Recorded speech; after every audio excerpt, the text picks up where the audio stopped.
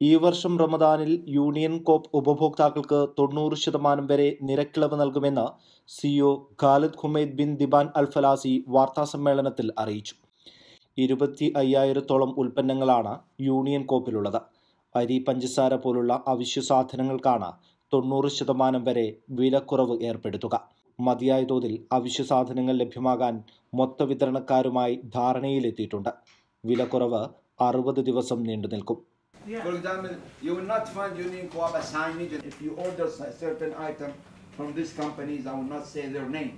Umm Suqeim Alwasl Altawar എന്നിവിടങ്ങളിലെ hyper മാർക്കറ്റുകൾ ഇരുപത്തിനാല് മണിക്കൂറും പ്രവർത്തിക്കും.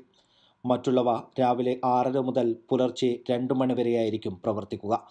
രണ്ടായിരത്തി പത്തൊൻപത് ആദ്യപാദത്തിൽ പതിമൂന്ന് ദശാംശം എട്ട് അഞ്ച് കോടിയാണ് അറ്റാദായം. റമദാനിൽ വിലക്കുറവ് വരുത്താൻ പതിനൊന്ന് കോടി ദീർഘം നീക്കിവെച്ചിട്ടുണ്ട്. അറുപത്തിയഞ്ച് കോടി ദീർഘമിന്റെ വ്യാപാരം റമദാൻ കാലയളവിൽ നടക്കുമെന്നാണ് കരുതുന്നത്. വാറ്റ് രഹിത വ്യാപാരമായിരിക്കും റമദാനിലേതെന്നും അൽഫലാസി പറഞ്ഞു.